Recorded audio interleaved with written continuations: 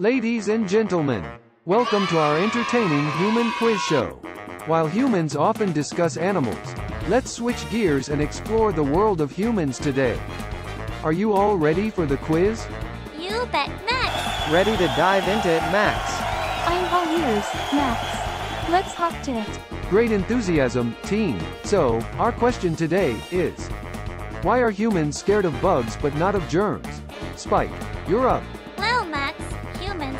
Well, Max, humans are scared of bugs because they're like tiny, unpredictable circus performers in their homes. But germs, they're invisible like sneaky spies. Humans can't see them, so they don't get the same spotlight in the fear show. Quite the spectacle analogy, Spike. Bubbles, your turn.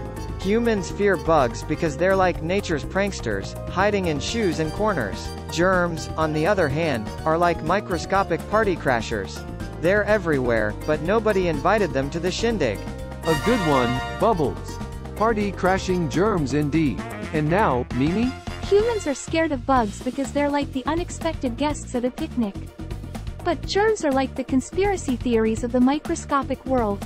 They're there, but humans can't see them plotting, so they don't get the same shivers down their spines.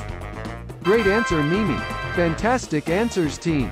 Humans fear bugs for their unpredictability, like circus performers, and germs are like unseen party crashers and silent conspirators. Human can be strange sometimes, but we all love them, and thank you for joining us on. Why are humans scared of bugs but not of germs? If you are up for More human quiz? Please like. And subscribe.